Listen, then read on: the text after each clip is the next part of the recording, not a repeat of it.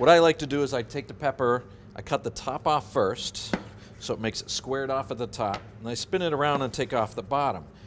This will pop right out of there. So we're gonna use the top and the bottom. And now, I want you to take these panels off the side of this as I'm taking off those ribs on the inside. So, take the pepper and just sort of roll that back, slice them back and forth so I'm not pushing too far.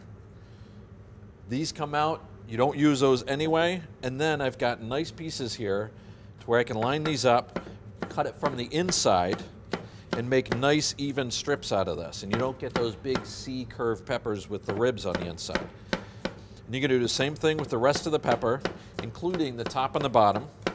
And if you wanted to, you can make this into a dice, a large dice, small, whatever you want. But the same thing, we don't have square peppers yet, but I can make really nice same size sliced peppers if I cut the pepper this way. And you do the same thing with the top. Just make julienne strips on it all the way across. And since I cut those nice and even, it's gonna cook nice and even as well. And if you happen to have a fresh cut veggie section of your produce department, you can come and pick those up already done, ready to go.